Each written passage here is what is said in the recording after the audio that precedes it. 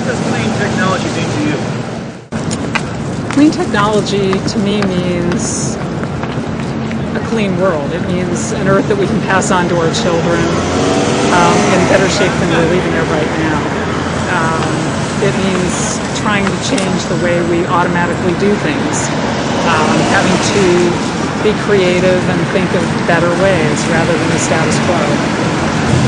Using energy sources that are renewable, things that we can grow, turn into an energy source without a lot of byproduct or garbage left over. You know, something more than just digging a hole and you know, sucking things up, but something we can generate and reproduce.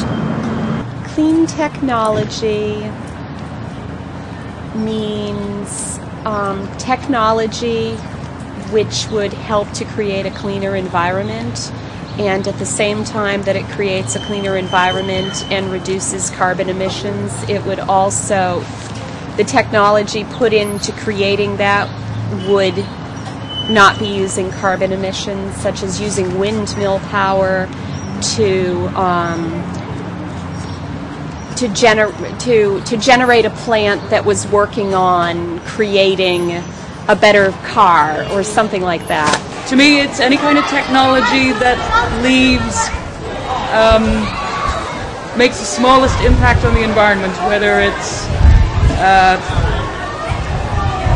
a septic system or a toilet that uses less water to flush, or solar panels, cars using technology that uh,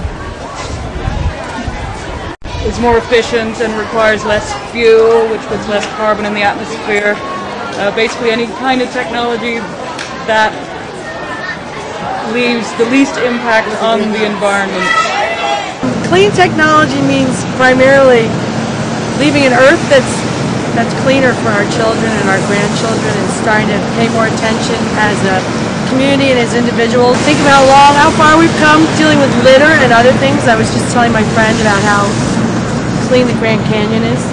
I think clean te- technology means that um, people are starting to, to use their um, uh, use natural products more to heat their homes and to drive hybrid cars um, and more solar heat, more use of solar heating. Um, uh, and biofuels, all kinds of biofuels that are now becoming more and more available. Renewable energy, alternative fuels, clean power, earth friendly. These and other like terms are directly related to one thing clean technology. Advancing clean technology at all levels is crucial, not only in developing the technology itself, but more urgently, in fostering relationships, exchanging knowledge, and promoting understanding and acceptance between governments, universities, businesses, and the global public. This show is meant to bolster such advances regarding one of the most popular missions in human history.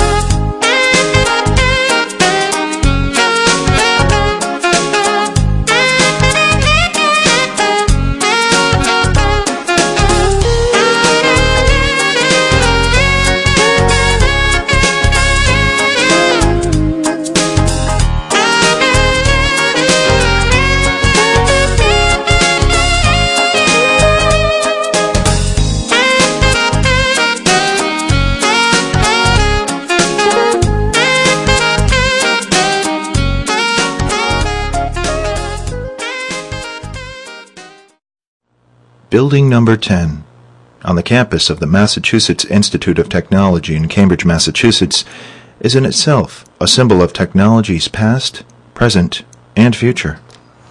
Hello, I'm John Wilson, and welcome to another edition of Newfangler, a show about clean technology and its expanding role in our day-to-day lives. Clean technology, or clean tech, has to do with technologies that support the development of clean renewable energy sources, energy efficient systems, and improvements to our environment, helping us to achieve energy independence and enhancing the health and well-being of each and every one of us. This edition of Newfangler takes a look at the MIT Energy Initiative, Established in September of 2006, this is an institute-wide initiative designed to help transform the global energy system to meet the needs of the future and to help build a bridge to that future by improving today's energy systems. We believe that uh, an overarching challenge for the 21st century is addressing the critical energy and environmental challenges uh, that we will face. Uh, uh there are many challenges. The uh, emerging economies, uh, China, India, Brazil, Indonesia, are going to greatly increase demand for energy the security issues that we uh, continue to see. Uh, oil supply, of course, is uh, is a major one, but uh, but there are others, uh, uh, including vulnerability of energy delivery systems, including concerns about nuclear proliferation. security issues are on the minds of people here in the United States and in many countries in the, in the world, and of course, environment. Uh, our use of energy today, uh, our projected increased use of energy, uh, really is going to challenge our ability to be good stewards of the environment for our children, our grandchildren, and most prominent among those challenges is the risk of climate change. Uh, climate change uh, has a lot to do with uh, our combustion of fossil fuels. And if we do not begin changing uh, our direction very soon uh, in terms of much cleaner uh, forms of energy. I certainly don't mean an absence of fossil fuels. I mean better use of fossil fuels and the introduction of new of new technologies uh, such as uh, renewables, uh, then if we don't start soon, as I'm saying, we will have really no chance to meet prudent goals for our stewardship of, of the of the earth.